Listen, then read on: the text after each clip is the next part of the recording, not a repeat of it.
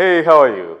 David here. Um, I just want to share with you a short story about me joining a digital um, academy. Um, sometimes last year, I got disrupted. And I'm sure you're aware about digital disruptions that is causing, you know, havoc every other place.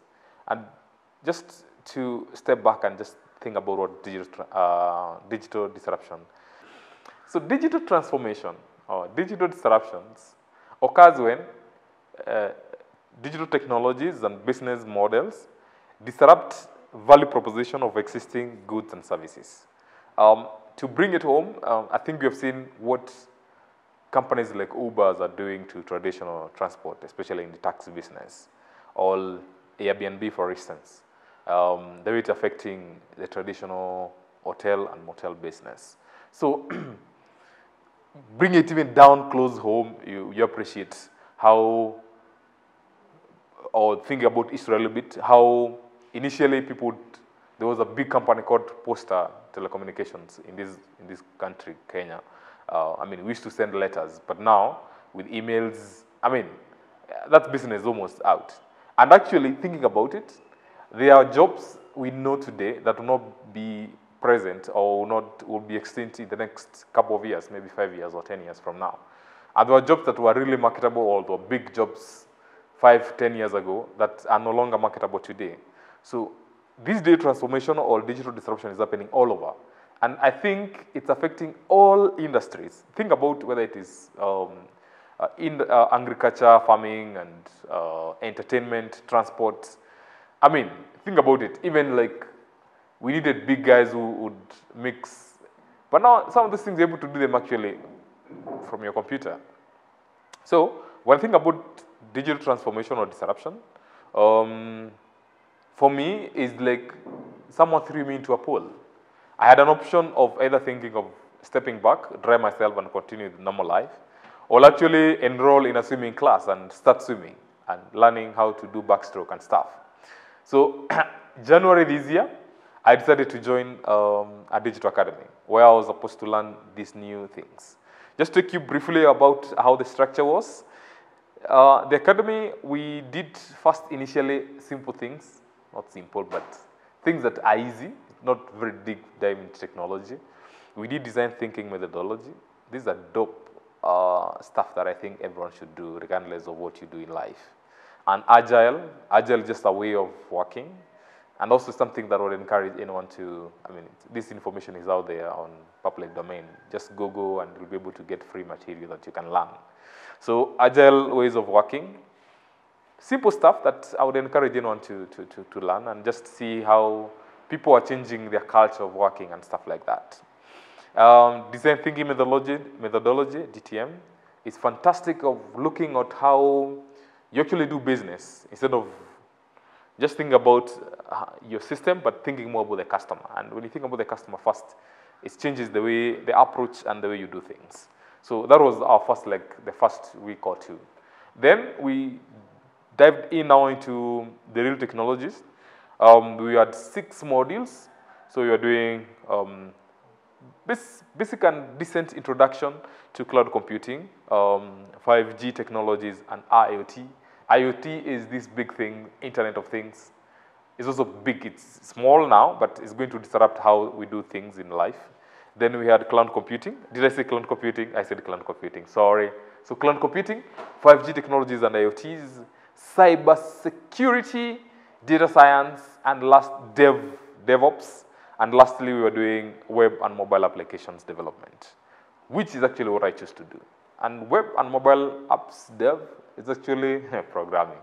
It's coding, man. It's, it's real, real stuff. A little bit background on myself. Um, I studied electrical and electronics engineering in college, and that the kind of things that I was doing. Um, then later, I mean, started doing photography and all this creative, interesting stuff. So I had no former background of either computer science or programming, or the coding that we say. So this was an happy task, honestly speaking, for me. Uh, the learning curve was a little bit steep, but it's manageable, it's doable. I've done it. six, seven months actually, seven months to be precise. The first one and a half month was these are the things I've mentioned, but five months was core focus into programming. Just to give you um, a simple snippet of what it was all about. Uh, we, the first is preparation to actually to, to, to coding or to programming, which is CS, HTML and CSS, the markup and styling languages. Then we did JavaScript. JavaScript now be able to program the web and make uh, websites or develop applications that are interactive. Then we dived even to deeper, harder stuff. Java, Java, not Java coffee, Java programming language. It's crazy, man. Um, we did Java Spark, tough stuff. And lastly, then we finished off with uh, Android. Again, Java, still Java stuff. My experience, it is hard. It's not even hard. It is demanding. It demands your mind, heart, soul, sweat and blood, but it is doable. I've done it myself. I mean, uh, and hearing about my background, I have no computer science background or anything like that. So it's actually doable. It's, it's doable. It just needs some sacrifice. I had to sacrifice a lot. Um, be willing to suffer, suffer, suffer, but not, not as much. You can make it fun. The class composition that I was in was interesting because we had these young guys who cleared college like a year, two years ago, and we had old guys like us. Am I old? Anyway, I don't think I'm old, but yeah, advanced a little bit, who have been out of college or class for a few years. That plus, with far more family rather, like for me, uh, the time I was joining the academy, I had a five months kid. My son was five months. And you know at that time, man, at time they decide to sleep or not sleep, and you come home tired, tired, tired, just you to bed and sleep. But you get very little of that, and the following day you are in class. And did I mention that it was a full day, full time, 8 to 8 class? Yeah, that's what I'm talking about. So I'll share with you tips and tricks that you can, that actually made me survive. Do I, should I share with you now or later? But yeah, I think for me first is an encouragement that this can be done. Uh, it's possible to transit or to change, to bring a new firmware in your head and actually do stuff. The other thing is the opportunities are great. Um, I'm happy that now I have a, a global skill set. What do I mean by that? Programming skills is skills that you can use everywhere in this part of or in this in this globe or down the earth. You can work anywhere in the world. So that's a beauty first. But I think for me when I look looking back to my time in the academy, it's not even just the skill set. The biggest one that I am grateful for is the mind shift. My mind has changed the way I look at things. I've discovered a ton of things that I didn't know and a ton of things, interesting stuff that I can get online and study on myself or study uh, at my own pace. And the big one is, man, is to keep reading, keep learning. They say readers are leaders. So if you're not reading, if you're not learning something new, you're dying.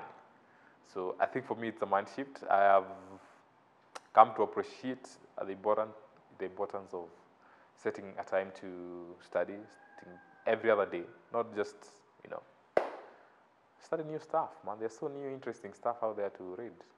And, and very important, you can be anything in life. In this day and age, we are living such a beautiful time that we have we are living in information age. So every information, whether you want to become a cook, a, you know, a photographer, you know, um, anything you think you you'd want to do, anything that you've always shelved at the back that, you know, you've always had like a passion to or like an inclination to do some of these things, you can actually do it. However, if you want to join a boot camp, I think I'll give you five. And I'll not give you tips. Go away.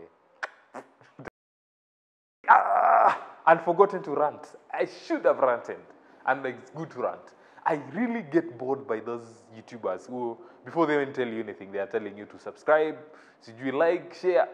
Damn, who, who, who, who are you to tell us to subscribe and do all this? Mean, I'm not you to subscribe. Like if you want to like, hit the subscribe button if you want to. You can even smash it if you want to. Uh, bite your screen. You, I mean, you do what you want to do and enjoy and have fun. Yeah, thank you. Yeah, yeah.